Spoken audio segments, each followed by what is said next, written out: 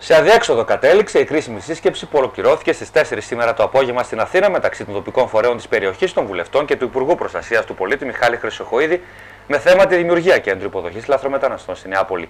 Όπως ανακοίνωσε ο Υπουργός, θα προχωρήσει τη δημιουργία του κέντρου, καθώς πρόκειται για νομοθετική πράξη από το βράδυ της Τρίτης, αλλά και για μια υποχρέωση της Ελλάδας στα πλαίσια της συνθήκης Σέγγεν. Επίσης, ανακοίνωσε πως ήδη έχει βρεθεί και ένα ακόμη στρατόπεδο στο Λαγκαδά, ένα ακόμη στην Αττική, ενώ στόχος είναι να ιδρυθούν 13 κέντρα υποδοχής σε κάθε μία από τις περιφέρειες της χώρας.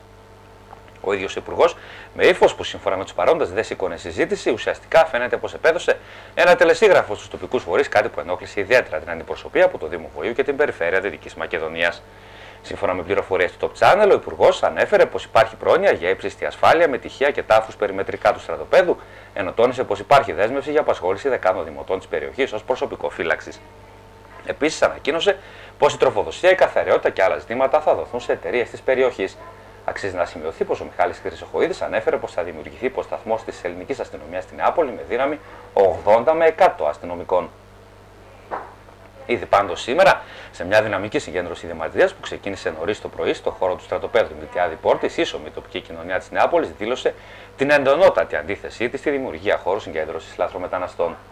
Δεκάδε κόσμου, μεταξύ αυτών και πολλοί μαθητές, διαμαρτυρήθηκαν για την προσπάθεια κουκουλώματος, όπως είπαν, του προβλήματος των μεταναστών στην Αθήνα και μεταφορά τους στην περιοχή, ενώ η τοπική κοινωνία είναι στα κάγκελα και αποφασισμένη να μην το επιτρέψει. Λίγο αργότερα, το μεσημέρι, ξεκίνησε η συγκέντρωση βαρέων οχημάτων και τρακτέρ περιμετρικά του στρατοπέδου, με τις κινητοποιήσει να αναμένονται τις επόμενες ημέρες ακόμη πιο δυναμικές. Είμαστε στην απόφαση, την πρόχειρη και στο γόνατο που προωθεί το Υπουργείο για την προστασία του πολίτη να μεταφέρει το πρόβλημα της Αθήνας στην επαρχία κάθετα αντίθετη. Γιατί έχουμε χορτάσει από προχειρότητα όταν διονγκώνεται ένα πρόβλημα και θέλουμε να το επιλύσουμε στο παραπέντε είναι εκ των πραγμάτων αδύνατο. Επομένως, επειδή εδώ εμείς στην περιοχή μας για το μόνο που έχουμε αυτή τη στιγμή να λέμε είναι ότι είμαστε ήσυχοι, ότι είμαστε φιλήσυχοι, δεν είμαστε ξενοφοβικοί, αλλά τον τρόπο τρόπο που προωθείται να γίνει αυτή στην περιοχή μας η δομή, λέμε κάθετα όχι. Δεν εμπιστευόμαστε αυτό το οποίο μας λένε. Μεγάλο και κάθετο όχι. Παρότι έχουμε μεθαύριο 25η Μαρτίου, εμείς γιορτάζουμε την 28η και λέμε όχι. Ο, κύριο... ο, ο κύριος Υπουργός σας είπε να βάλετε νερό στο στρατόπεδο. Σας, σας έχει δώσει εντολή. Ποια είναι η θέση σας; Η θέση μας είναι αυτή η οποία είναι η πραγματικότητα. Αυτή τη στιγμή κάθε καλοκαίρι έχουμε πρόβλημα ίδρυυσης στον οικισμό μας και μια και μιλάμε για την Νεάπολη δεν μπορούμε να υδροδοτήσουμε τους δικούς μας εδώ τους ήδη υπάρχοντες. Θα μας φέρουν χίλια άτομα που δεν είναι χίλια γιατί είναι πονηροί και ιεροί και ενδεχομένως να είναι και δύο και τρεις χιλιάδες και θα μπορέσουν αυτοί οι άνθρωποι να υδροδοτηθούν. Δεν υπάρχει υποδομή και δυνατότητα δυνατότητα υδροδότησης και επίσης δεν υπάρχει αποχετευτικό σύστημα. Μιλάμε για βόθρους που εξυπηρετούσαν φαντάρους το πολύ 250. Εδώ μιλάμε για χίλια και ενδεχομένως, όπως είπα, 3.000 άτομα. Μιλάμε, υπάρχει θέμα ε, ενδεχομένως επιδημιών και πολλών σοβαρών προβλημάτων υγείας και για τους ίδιους και για τους γύρω κατοίκους. Ακούγεται ότι θα σας υποσχεθεί ο Υπουργός ανταποδοτικά ωφέλη για την περιοχή, προσλήψεις, ε, απευθείας αναθέσεις, τι θα το απαντήσετε; Κύριε Πλιάτσο, ένα είναι, μία είναι η απάντηση. Θέλουν να καθαρίσουν την Αθήνα για να την αναβαθμίσουν. Επομένως, ποια μέτρα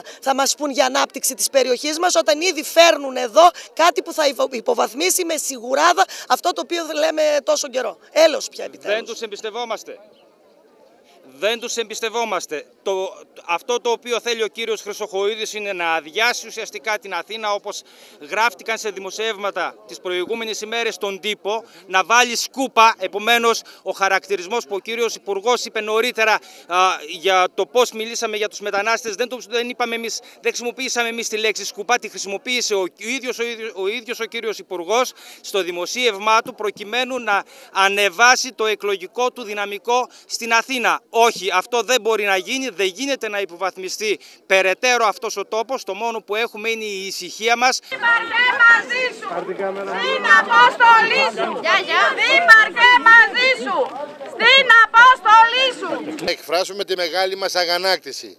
Παραδέχονται οι πολιτικοί στην πρωτεύουσα ότι υπάρχει ένα μεγάλο πρόβλημα με τους λαθρομετανάστες. Λοιπόν, το πρόβλημα αυτό θέλω να το μεταφέρω εδώ στην, στην επαρχία. Εμείς θέλουμε μια δουλειά. Δεν θέλουμε να φέρουμε μετανάστες και σκουπίδια εδώ στον τόπο μας. Γιατί δεν μας θέλουν το στρατό που έχει η Αθήνα και τον εκμεταλλεύεται αυτή και εμείς εδώ έχουμε τα στρατόπεδα μας. Μια περιοχή η οποία είναι τελείως υποβαθμισμένη. Όχι, δεν φοβάμαι τους τρομελευθερονάστες, αλλά ε, να μην μπουν στην Νεάπολη μέσα και κάνουν τίποτα σκουτουμί, τέτοια, ληστείς, τέτοια πράγματα. Ανησυχία φόβος βέβαια. Ε, εγώ θέλω να πω κάτι ότι τους διώχνουμε, κάνουμε σκούπα από το κέντρο της Αθήνας για πολιτικό όφελος για να κερδίσουμε κάποιους ψήφους από την Αθήνα λόγω εκλογών και τους στέλνουμε σε, ένα, σε μια πόλη με 2.000 κατοίκους, με 2.000 ψήφους, που δεν έχουν να χάσουν την πολιτική πολλά, απλά θα χάσουν 2.000 ψήφους. Εκφράζουμε την αγανάκτησή μας για την απόφαση που πάρθηκε από την κεντρική εξουσία για το συγκεκριμένο θέμα της εγκατάστασης των μεταναστών στο στρατόπεδο ε, Πόρτη.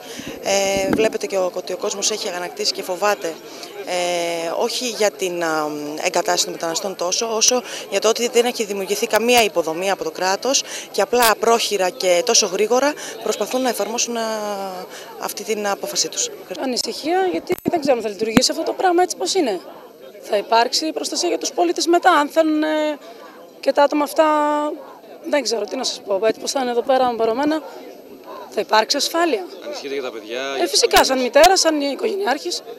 Όχι ότι μου φταίνει κάτι άνθρωποι, ας πούμε.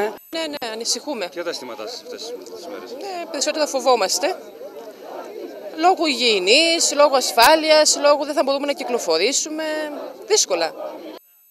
Μένα χώματα της Μακεδονίας που τα απελευθέρωσαν από τους Τούρκους οι παππούδες μας και μας τα παραδώσαν εμάς εδώ. Θέλουν αυτή τη στιγμή την κοινωνία μας να την αλλοιώσουν, να μας φέρουν τους λαθρομετανάστες εδώ και οι ίδιοι δεν μπόρεσαν να αφομοιωθούν σε μια κοινωνία των 4,5 εκατομμυρίων στην Αθήνα. Είναι δυνατόν σε μια κοινωνία των 2,5-3 χιλιάδων ανθρώπων να μπορέσουν να ενταχθούν χωρίς να υπάρχει καμία υποδομή και πέρα από αυτό, αν το επιθυμούσαν οι ίδιοι θα ερχόταν να εγκαθίστανται εδώ, σε αυτή την περιοχή.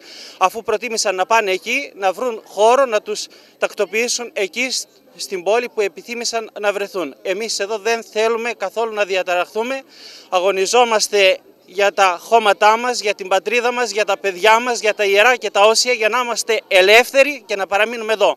Μέχρι τώρα δεν ενδιαφέρθηκε κανείς για την περιοχή μας, να μας αφήσουν τουλάχιστον μόνοι μας, στο έλεος του Θεού, για να συνεχίσουμε από εδώ και πέρα τη ζωή μας όπως ακριβώς ξέρουμε εμείς. Κάνουν κανένα εργοστάσιο να μπορούν να δουλεύουν τα εγγόνια μας, τα παιδιά μας, θα γίνουν όλα τα παιδιά μας μετανάστες. Γεννήκαμε εμείς το 64 ξανά να ξεφύγουμε όλοι ξανά. Αυτά δεν είναι πράγματα πρέπει να ερωτηθούν από τον κόσμο και ύστερα να, κάνουν, να παίρνουν τις αποφάσεις. Ε, νομίζω ότι είναι απαράδεκτο να μην ρωτηθεί η κοινωνία για ένα τόσο σημαντικό ζήτημα. Είχαμε εδώ την ασφάλεια και την ησυχία μας, δεν είχαμε τίποτα άλλο. Ούτε επενδύσεις, ούτε δουλειές, ούτε τίποτα. Ε, λένε να καλλιεργήσουμε τη γη. Με 5.000 άτομα, τι γη να καλλιεργήσουμε εδώ πέρα. Δηλαδή, ε, υπάρχει ασφάλεια πάνω σε αυτό το ζήτημα; Στα καλά καθόμενα μας θα μα φέρουν 5.000 άτομα. Ρωτήθηκε κανείς τηρούσε, τηρεί αυτό το στρατόπεδο τις προϋποθέσεις που έχει θέσει η Ευρωπαϊκή Ένωση;